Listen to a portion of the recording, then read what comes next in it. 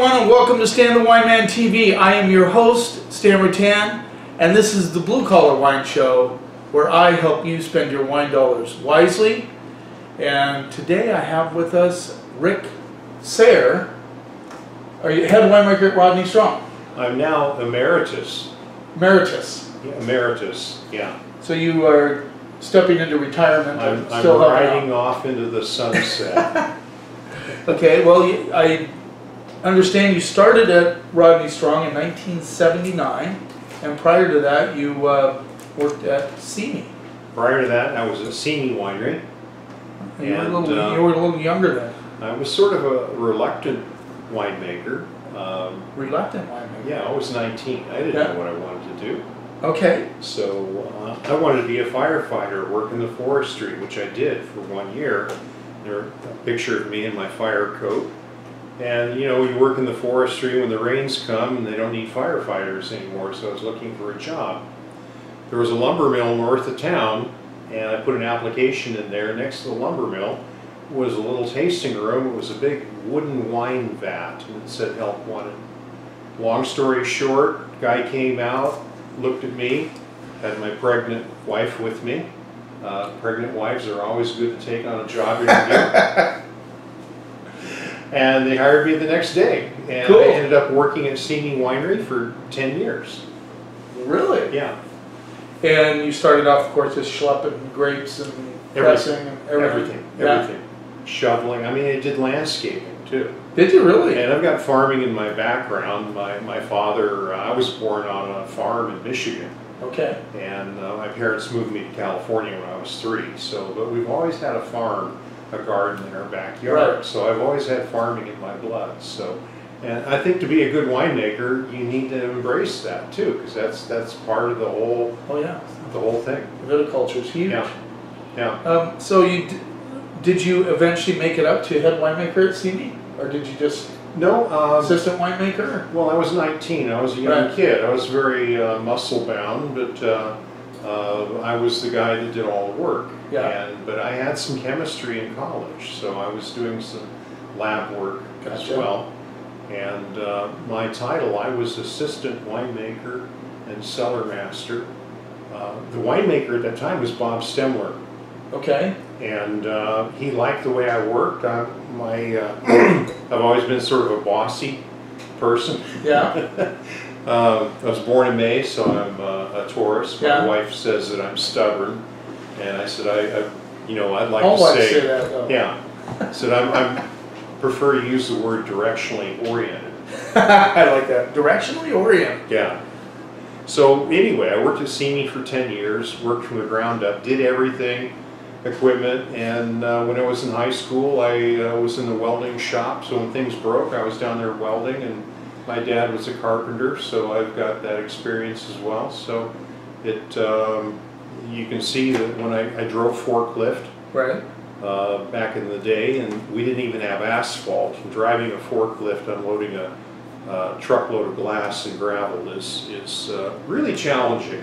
So I, I'm just going to show you. So he's brought this book because he's doing a winemaker's dinner at a local restaurant here, Downriggers. So he brought his little book there. It's pretty cool. Yeah, I'm sure they can see it. So- Max left me there. yeah. Our camera guy left. So, So anyway, you now I, I I'm curious. So after ten years there, uh, did somebody seek you out from Rodney Strong? this gentleman, Okay. and I'd like to say, if I was Luke Skywalker, this was my Yoda. and this gentleman is Andre Tchelistcheff. Oh yeah, of He course. was the wine master at BV. right. Well, He- he's famous. He left BV in uh, late 72, early 73, and I was his first pupil because he started consulting at Simi Winery Gotcha. right after he left BV.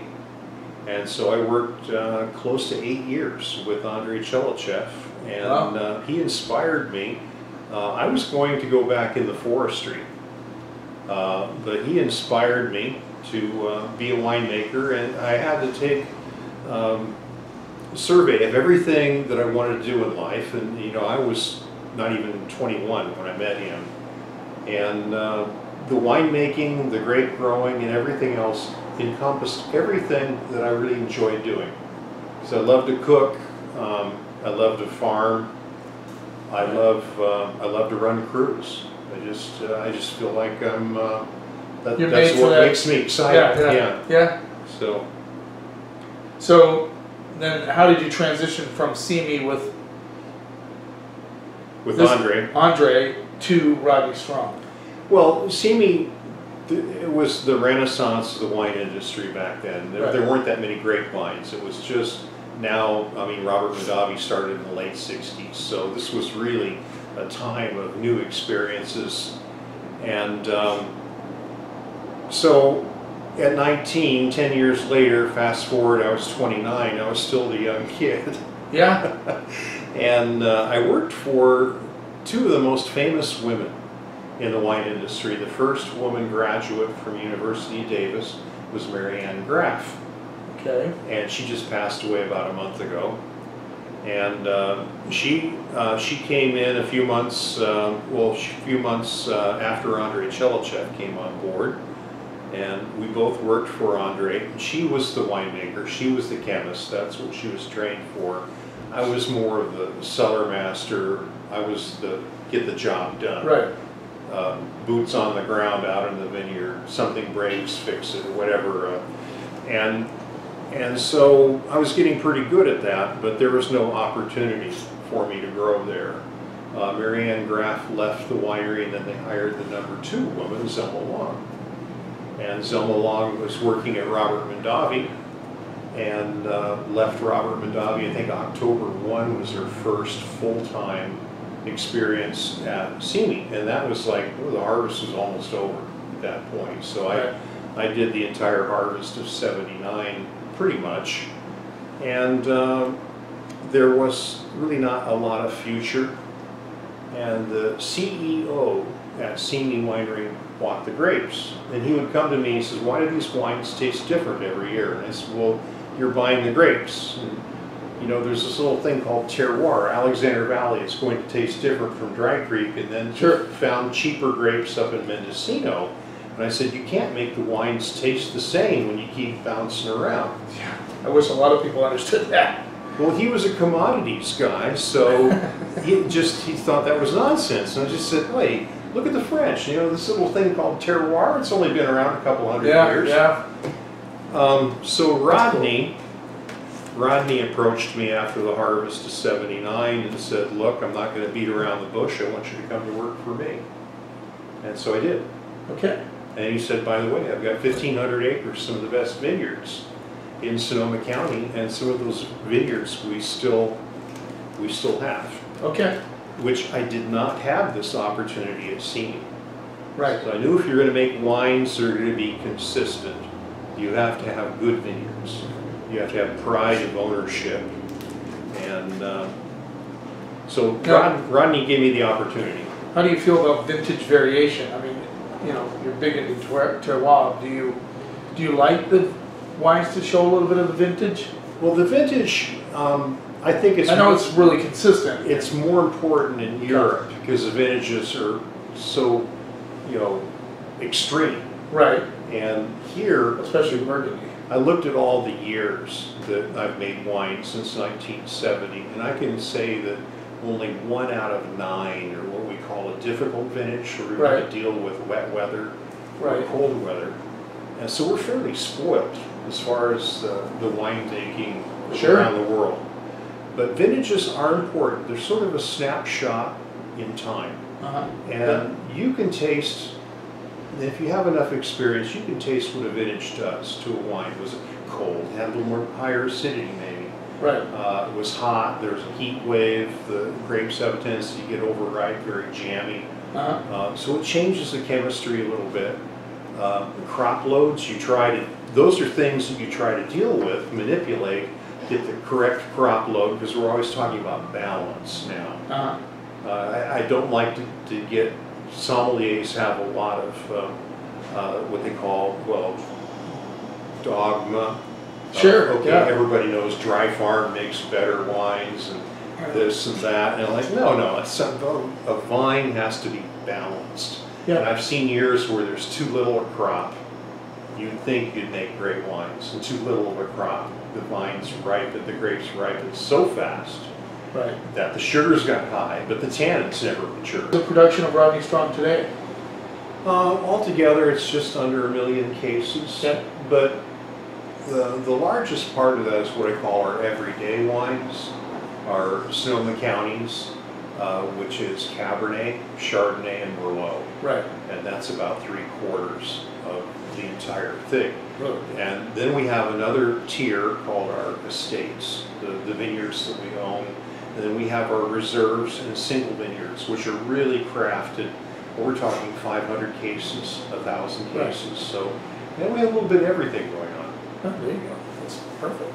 And in today's economy, it gives you stability because if, if um, you sell only in restaurants when the economy goes down, you're not selling much wine because people will mostly buy their wine in grocery stores. Yeah. So you have to have a presence in the grocery store and the restaurants. Yes. And that gives you financial stability. I mean, being a farmer is bad enough as it is, but you have to have some stability Sure. in your sales. Sure. So that, that helps us, you know, pay the bills and cash flow is important. And you can still concentrate on these handcrafted, very small, unique plots. And, and that's what we're focusing on. That's awesome. Yeah, I think uh, I was always uh, one of the questions, that I'm not going to ask you because it probably doesn't fit into the realm of where you've grown up in the wine world. But a lot of these smaller wineries, you know, the, the guy's a winemaker, he owns a winery, and I always ask him how you um, deal with artistic expression versus selling the wine. You know, because I've seen some winemakers Yeah. start a winery and really struggle because they're trying to put out this wine that, well, they really love it, but it doesn't have public appeal at all. Right, right. And uh, that's basically what you're saying. You have these other crafted wines, but you Yeah. have to have the wines that bring in the dough. There's, you know, and winemakers are like chefs. Everybody has a different philosophy. Oh, yeah. of what they want to do and what their consumer wants. And I think a lot of, some of the winemakers are so esoteric, say, I don't care what the consumer wants. This is, if they like Exactly. my wine, I'm gonna make it the way I want. Yeah. And uh, I have a little different, broader version of that. I mean, I have wines that I know that I like, but I have friends who like uh, some of these wines. Like uh, I used to call them over extracted, big, heavy, rich, super high Like alcohol. old, the, the uh, Barossa Valley Shirazes. And I've learned a long time ago, there's no right, there's no wrong in the wine business. It's drink what you like. Everybody is different. And I even know some winemakers like a certain amount of vinegar In their wines? Yeah. Yeah, particularly Pinot Noirs, or when you get into these uh, high alcohol Zinfandels, long fermentations, they'll generate acetic acid. No, I've started, like, I, every month I have a, what I call a pick of the month in the store, and I stack it, and my criteria for these uh, guys is eighty percent of the people have to like it. Yeah, Because I'm not gonna try and put a pick of the month out there, you Yeah. know, only forty percent of the people are gonna enjoy, are going to enjoy it. yeah, So it's the same, I think, with a winemaker or somebody like you who's handled these big volumes of wine. You have to recognize it. You have to put out wine there that eighty percent of the people are gonna like. yeah. Otherwise, you're not gonna make any money. You're not going to be successful. Right. Yeah. Exactly. Well, so we have a rosé here. So you have, how many winemakers are working at Rodney Strong now? Well, um, two. I hired, uh, and I'm, I'm really proud of my young winemakers, and Okay. I Let's was kind of following in the footsteps of my mentor, Andre Okay. So That's, that's a good mentor to have. the um, Greg Morthole started with us in 2005. Uh, he was directing our laboratory. He is very scientific. I used to, I would call him my first officer, Spock. Okay. He was just so dialed in. Yeah? and uh, incredible winemaker. He's making the Chardonnays and the Pinot Noirs. He's also the winemaker for Davis Bynum. Oh, gotcha. And then in 2010, I hired Justin Seidenfeld. Uh, he had worked at uh, Robert Mondavi, Oakville. Okay. And before that, he worked at Iron Horse, and uh, he worked for a good friend of mine, Dave Munksgard. And I called up Dave, and he says, you know, Justin's the type of guy I would like to have if I was going to retire.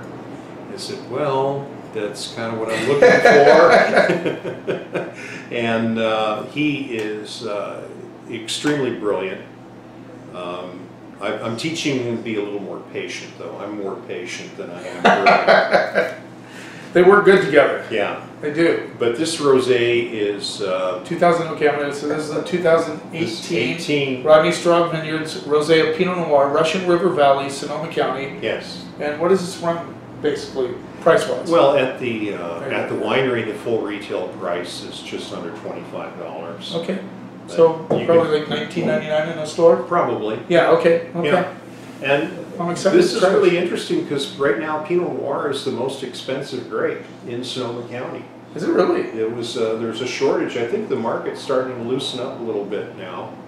Um, but um, there been, there's been, and I buy grapes, so there's been a lot of competition in buying grapes. So the spot market for this right now, if you can find grapes, would be somewhere around three thousand five hundred to four thousand dollars a ton. Wow, that's, yeah, so, Now, the beauty about this is you don't have to age it in thousand dollar French oak barrels. exactly.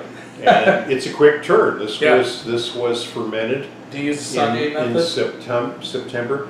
Uh, no, no, we, only a tiny, tiny bit. We do, this is a deliberate rosé. It's not a byproduct Gotcha, of making a red Pinot Noir. We target the grapes. We start picking at about 20 and a half Brix. okay.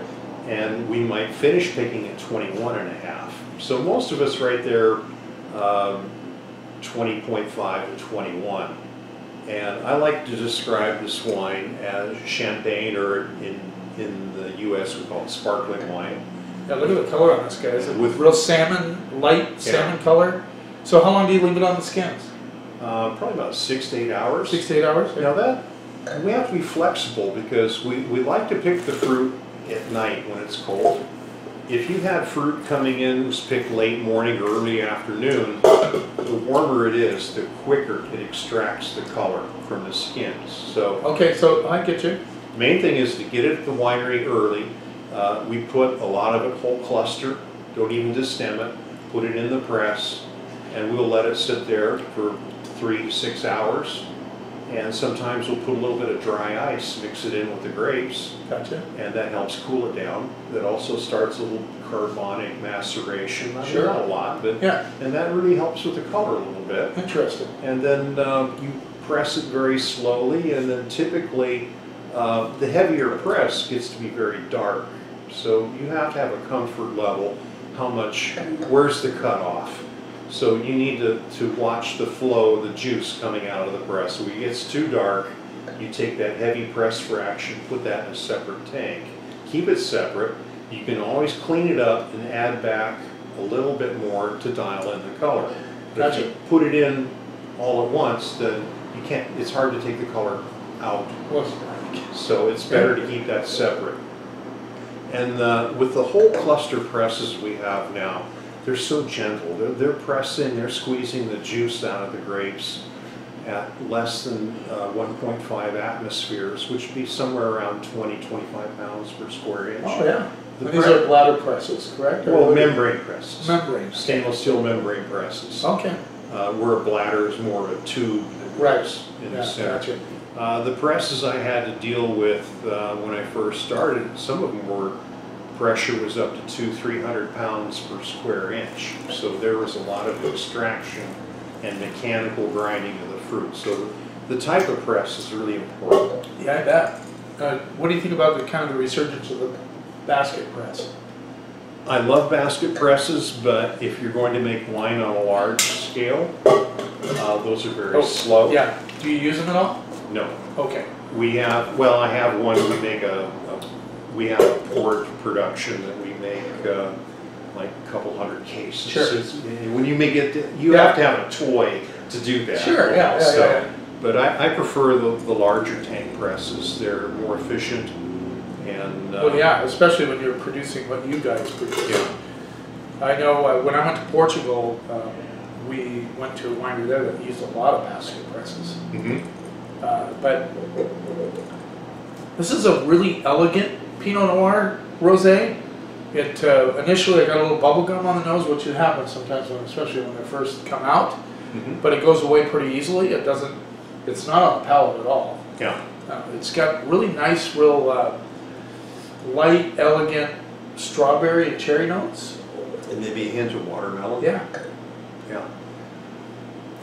This is our second year where we've been selling this rosé on a national market. We've been making it for five years, selling it through the tasting Okay. room. And it's one of our popular wines for our summer concert series at the winery. And Oh, on on a hot day, it's really refreshing. Oh, yeah. No, it's very good. It's good as, I like the acid in it. Yeah, It, it really pops on the backside, yeah, the acidity. So that's, I, I think when you're talking rosé, a lot of people like that acidity to come through. Um, and I've noticed some uh, Pinot Noirs out of rosés out of Oregon, sometimes they lack a little bit of acidity, so you don't, it gets a little bit funky on the finish, which you can have with Pinot Noir sometimes. yeah. And um, when you do the saignée, you lose a lot of the acidity because you're harvesting the grapes riper to make a, a red Pinot Noir. Gotcha. So- Oh, yeah, well, that makes sense. I like the dedicated rosé thing. So, I know my audience knows this, but saignée is, means basically bleed in French. So that, they bleed off a little bit of the juice. They save the rest of the grapes for production of the main grape. Like in this case, if you use and Pinot Noir rosé, you would bleed off some of the juice and the rest of the Pinot Noir fruit would go into the red wine. Here, as he's, as uh, Rick is saying, they devote the grapes to rosé. So, Yeah, yeah, and typically we're picking them two, two to three weeks that's before what we pick that's the I like it a Yeah, lot. Okay, so this is a, I was introduced to this uh, about uh, a year ago. yes. How long have you been producing the upshot? This is the second vintage. Okay, so Yeah. I got in on ground floor. Yeah. And this, this wine is one that we've, you know, Sorry, I'm not, I'm not, I'm not gonna Okay. rinse because we just had a really light rosé. So is that okay with you? that's perfect. Okay. I like a used glass. Yeah, so here we got the 2016 Yeah. Upshot Red Wine Blend. 37% Zin, 30% Malbec, 27% Merlot, 3% Petit Verdot, and 3% Riesling. Do you like that label? It is, what's, It's, what's, it's sort of a Mayan calendar. It's a tech sheet on the label. It says everything about the wine. now this was in about 24 bucks, I think, right? Does that sound right to you? Yeah. I think I saw it for that at the store. That's, and that's full retail. Yeah, Yes. And this is a real techie wine, and uh, it's all about the blend.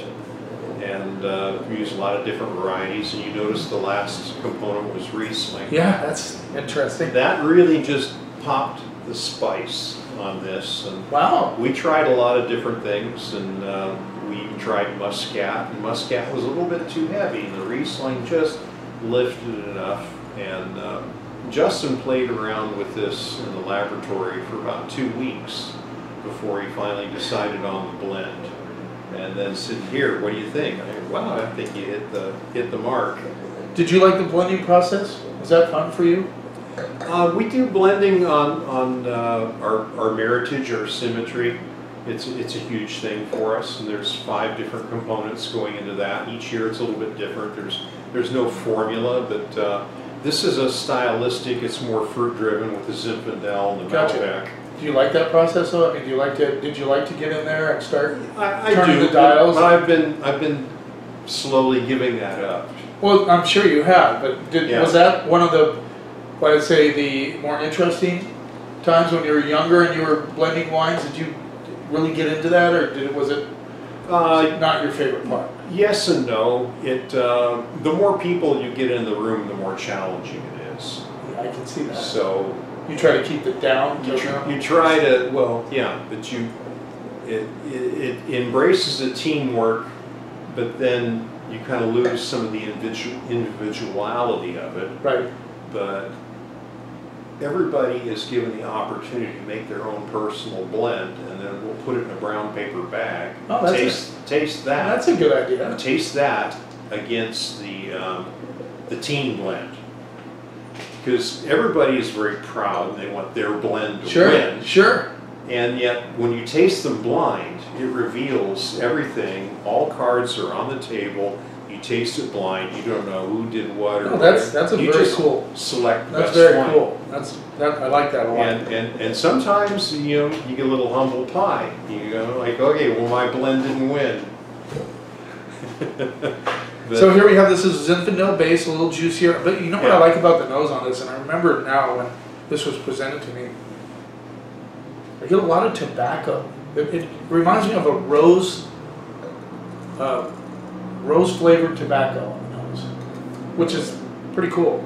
There's a lot of things going on in here. A little bit of bark, The Zinfandel gives you that um, blackberry quality. Um, The Malbec gives you a little bit of black walnut, blueberries. and yeah. We fondly call Malbec blueberry motor oil. So it's really unctuous. I like that, especially out of California. Yeah. And then the Petit Verdot uh, definitely gives it some backbone. Um, The Riesling pops the fruit. So, uh, that's that's very good. yeah, Good balance, uh, good integration of fruit, tannins, and acidity. There's a little spiciness on the backside of this one. right. Got a little white pepper, sort of black pepper Uh-huh. thing going on. Um, yeah, I, I fell in love with this one the first time I tried it, and uh, yeah, we sell a fair amount of it. I mean, the blend category is so competitive. Yes. I mean, there's so many different blends. I mean, it's probably next to Chardonnay my biggest section in the store. Really? Chardonnay is huge. I mean, we just can't. Yeah. It's still the number one selling wine in the Yeah. United States. Um, well, we sell a lot of Rodney Strong Chardonnay. You guys have got that dialed in for sure. Um, but this, and for those of you, if you come into Kings, not all my guys live on the island, but look for that one. Uh, because don't let the Zin throw you off. It's got great balance. I mean, you know, some people don't like Zinfandel, but this does not taste like a Zinfandel. It has the juiciness of a Zin, but it has all those other components. Very complex. Really. Yeah. I like it. Very Good. You. Yeah. Well, there you go. Rick Sayre, soon to be retired from Rodney Strong.